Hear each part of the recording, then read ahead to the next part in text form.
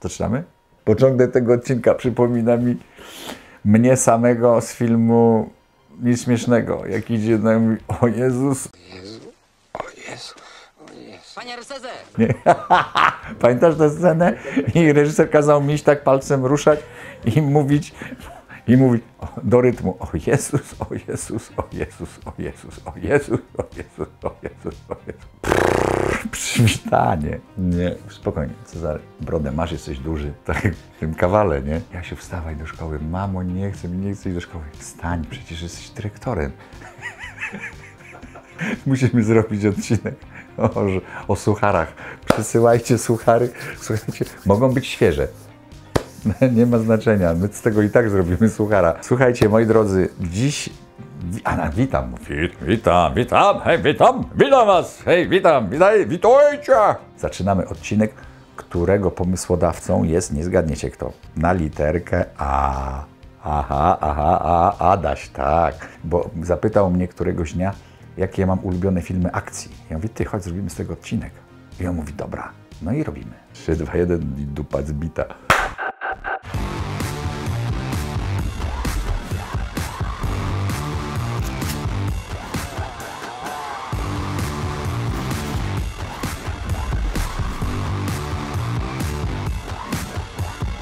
Co powinno być w filmie, żeby film się dało oglądać? Przebieg czegoś, jakiegoś zdarzenia, czyli akcja. Czyli ja- ja- jak gadać będzie filmy akcji, no to co to są filmy akcji? No, do, do, do, najpierw odpowiedzmy sobie na to pytanie. Filmy, gdzie coś się dzieje.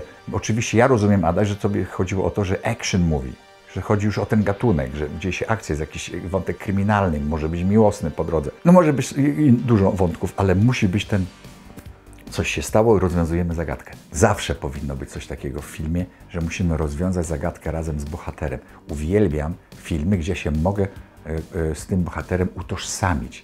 Chcę być nim, chcę robić tak jak on. Albo e, no, nie, nawet nie lepszy od niego, chcę być tak jak on. Taki twardy, taki, taki, taki zadziorny. Ulubione filmy akcji. Słuchajcie, dla mnie to jak byłem jeszcze dzieciakiem, to nie było tego pojęcia filmy akcji. Dlatego, a czy myśmy zaczęli odcinek, czy nie? Miał ogromne szczęście. Kula trafiła w tytanową płytkę, którą miał wstawioną w miejsce płata czołowego. Ta płytka zmieniła trajektorię kuli, jednak fala uderzeniowa była tak silna, że mogła spowodować różne zaburzenia funkcji mózgu. Było je budu.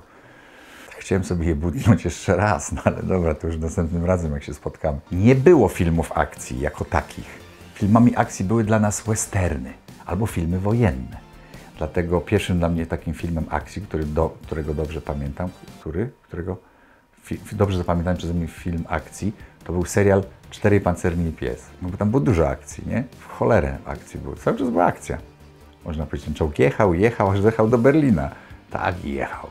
No, tam nawet, nawet się nie psuł za bardzo. Raz był tylko roztrzaskany w Warszawie. Dobra. I, no i, i, oczywiście mm, stawka większa niż życie, czyli, czyli przygody Hansa Klossa, naszego najdzielniejszego agenta wszechczasów J23. Znowu nadaje. No to były takie, może przesadzam, ale taki pierwszy film akcji. Ale pierwszym dla mnie takim filmem akcji, który dotknął mego jestestwa, wszedł mi w duszę i stał się mną w pewnym sensie, to było Wejście Smoka z Bruce'em Lee. Film, który zawładnął moją wyobraźnią, a nie tylko moją. Słuchajcie, ja naprawdę wy, wyszedłem z kina, to kopałem wszystkie drzewa po drodze. Słuchajcie, robię... A teraz spróbuję uderzyć w metalową rurę e, piszczelem. O, o, no ja. O kurwa.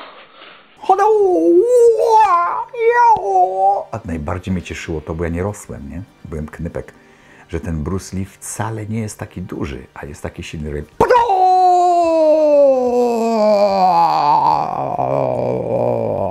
Nie? I, i, I oni padają ci wszyscy jak ścięte dęby. Kurczę, taką malutką rączką. Jak on to, Jezu, też ćwiczyłem, że on schodzi po linie na dół i, i w, w tej, w poziomce. Ja to do dziś robię, że mam nogi w poziomce. Tak, Adaś, Adaś. Robię, tak, tak się podciągam. To jest pierwszy mój szpan na siłowni. Jak jest jakaś fajna dziewczyna, ko Edyce nie mówcie, to ja wiesz, łapię się za ten, robię poziomkę i podciągam się z nogami tak. Dzień dobry. I ona przychodzi. Jezus! O Jezus! I skurcz. I do, I do szatni. I do szatni. Na tym filmie byłem 24 razy w kinie. W kinie. Plus nieskończoną ilość razy oglądałem to już potem na, na różnych nośnikach. Kadry z tego filmu i sceny znam na pamięć. Dialogi znam na pamięć. Znaczy teraz już nie pamiętam, bo to już zrozumiałem, że to już, że to już, to już po co. Ale, ale to, to był film, który odcisnął wielkie piętno na mnie i zacząłem lubić w ogóle filmy, filmy z tej serii. Można powiedzieć, że to jest film akcji? Można powiedzieć, bo to jest film akcji. No, tam był wątek kryminalny, on musiał złapać przestępcę, ale ja pokochałem wtedy właśnie filmy w karate. To była nowość w Polsce. I potem był taki, taki film e, Klasztor Shaolin, a nawet nie Klasztor Shaolin, tylko wojownik z klasztoru, wojownik z Shaolin. I tym wojownikiem był Jet Li. On miał wtedy chyba 17 lat, już był mistrzem świata w Wushu. Słuchajcie, i, ten, i on grał tam, potrafił roz, rozwalić 17, 20.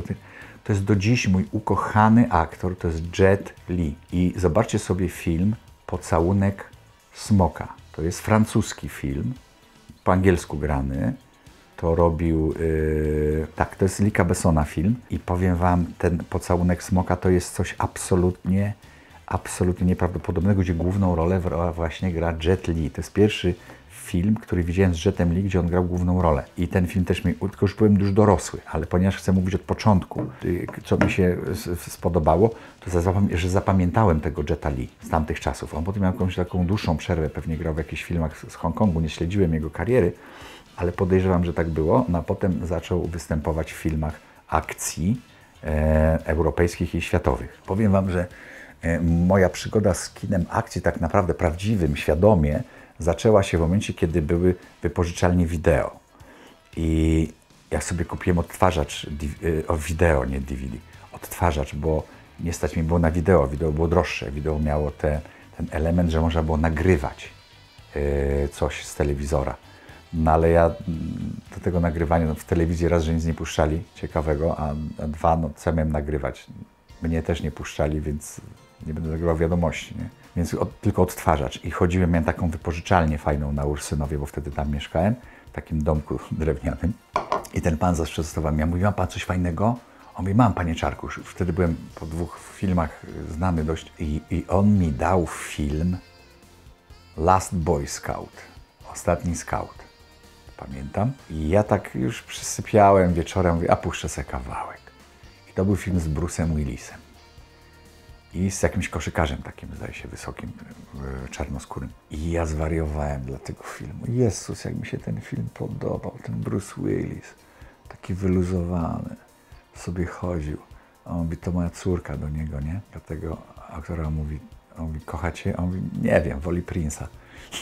Ja pamiętam, że każdy dialog to był tak jak u nas w Psach. Boguś Linda miał, stara dupa jest to, to, to, kurczę, i to mi się tak strasznie spodobało. I wtedy zrozumiałem, że Bruce Willis to jest mój ulubiony aktor, to jest mój ukochany aktor i będę oglądał wszystkie jego filmy. Dlatego tak żałuję, że już nie gra. I potem, jak wyszła Szklana Pułapka, to obejrzałem ją chyba z 10 razy. Uważam Szklaną Pułapkę za wzorzec, który może być postawiony w Sefr pod Paryżem jako film akcji, jako kino akcji, który od pierwszego kadru do ostatniego trzyma w napięciu jest pełne zwrotów akcji i przede wszystkim ma wydźwięk i poczucie humoru. Za to kocham, że jak u nas w filmach kazali nam zawsze grać, jak coś się dzieje strasznego, to ojej, cały czas jest strasznie. A ten dzieje się strasznie, on idzie, haj, idzie, tak się czołga, taki zakrwawiony. Pamiętam w jakiejś rurze przez czołga, a wcześniej mu żona mówiła przyjeźdź do Kalifornii, będziesz miał fajne wakacje. I on tak się czołga. Mówi tak, a, przyjeźdź do Kalifornii, będziesz miał fajne wakacje. Jezu, jakie to było śmieszne, jakie to było zabawne, jak, my, jak ja go kochałem przez to, że ma taki dystans tego, że może zaraz zginąć, a mimo wszystko ma to w dupie. Taki Boguś Linda, tylko do kwadratu, nie? Kurczę, nieprawdopodobny był. To był jego czas. Już Wam powiedziałem, dlaczego e, wtedy zaczęto po szklanej pułapce, zaczęto inaczej fotografować aktorów. Bo Bruce Willis zaczął łysieć do tego filmu, znaczy przy tym wtedy i do tego filmu e, operatorzy wymyślili, że będą mu obcinać e, tył głowy. No, e, znaczy ten czubek głowy, bo normalnie zawsze było tyle powietrza nad głową. Jak ja robiłem pogranicze w ogniu i jak operator źle zostawił kamerę, to, opera, to mm, szwękier, to operator pan, pan e, Wójtowicz, Antoni, starszy pan, wtedy już był starszy, żyjący już, mówi podnieś kamerkę, mówi zostaw mu powietrze nad głową, że musiał być powietrze, a teraz nie, teraz się tak tnie. Jason Statham też jest tak cięty.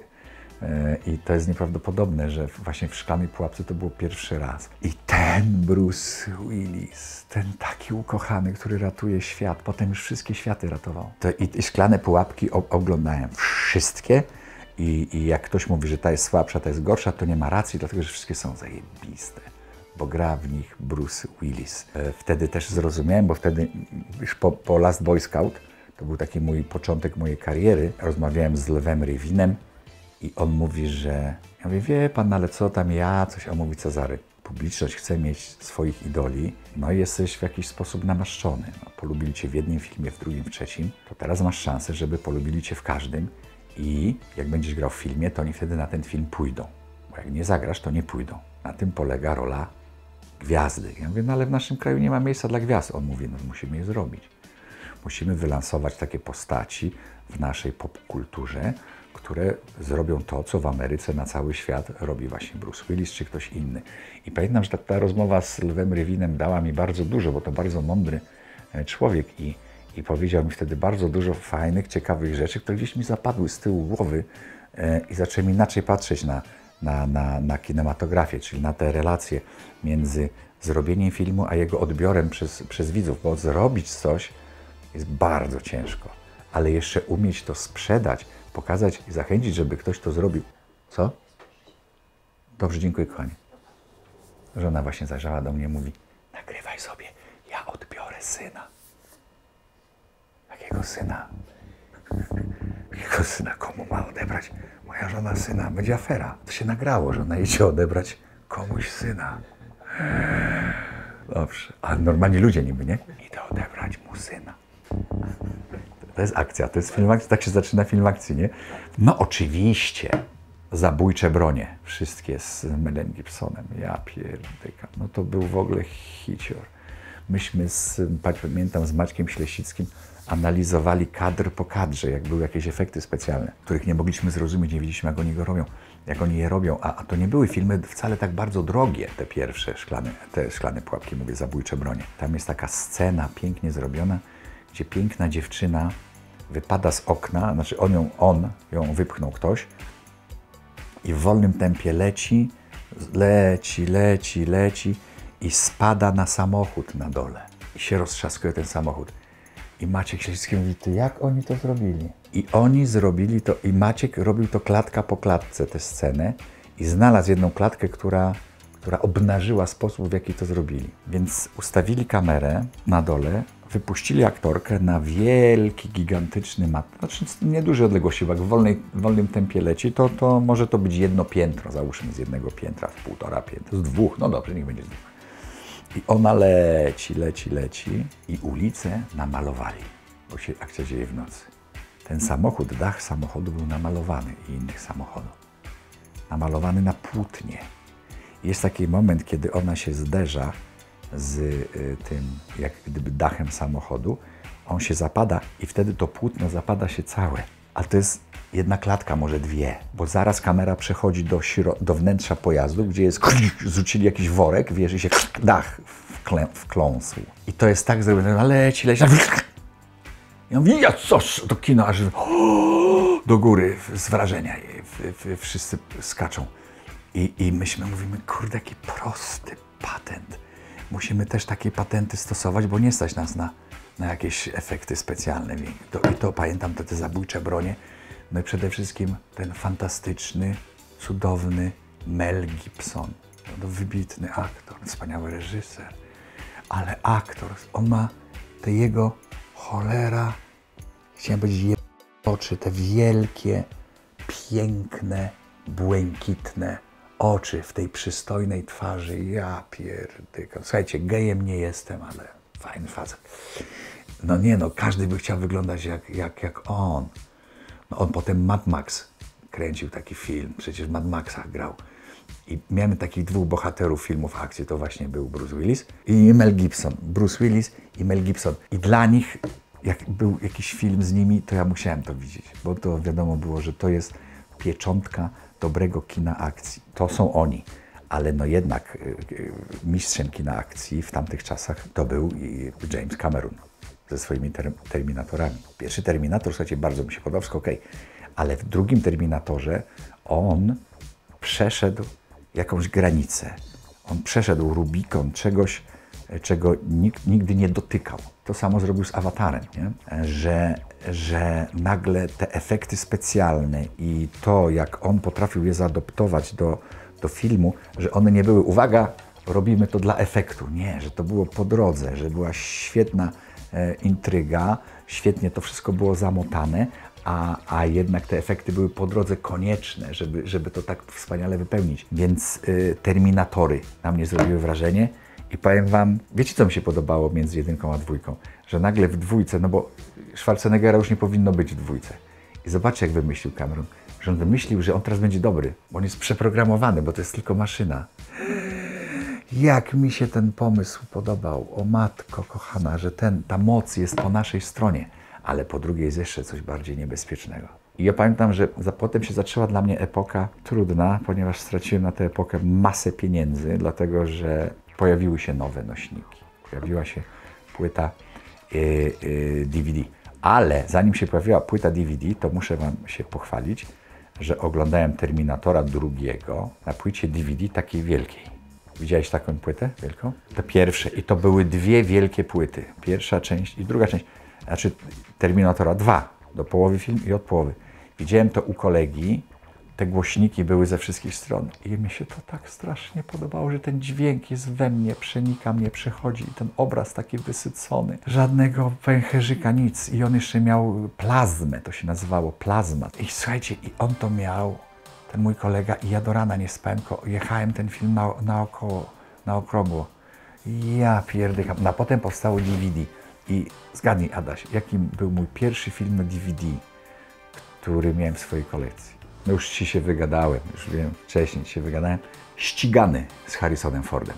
To był mój pierwszy film, który miałem na płycie DVD. I powiem wam to, czyli film wyszedł w 93, czyli załóżmy, mogłem to mieć w 94. Już. Pamiętam, że kupiłem taki jakiś wielki telewizor, słabo było na nim widać, ale był wielki. I na tym sobie puszczałem ten film, bo tylko ten film miałem.